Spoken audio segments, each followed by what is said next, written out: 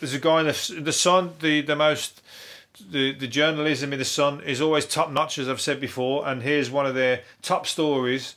It's a guy who's found a, seven inch fry in one of his oven chips, in his, in his bag of oven chips. It's a seven inch, and he's got a picture of it measuring up to sausages, and it's bigger than a sausage. so, um, that's like that's journalism at its finest. If you ever went to journalism school and end up at the Sun, and then you got sent round to that guy's house to take a photo of his fucking oven chip, you got to think to yourself, I've really fucking made it. I really am proud. You got to have a picture of you in the oven chip on top of the t- your parents' TV.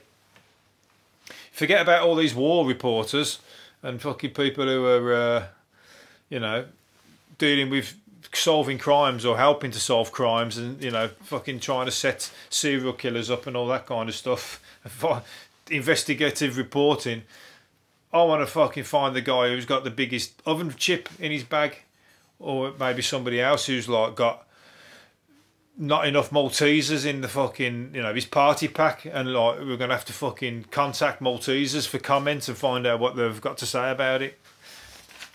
That's real reporting.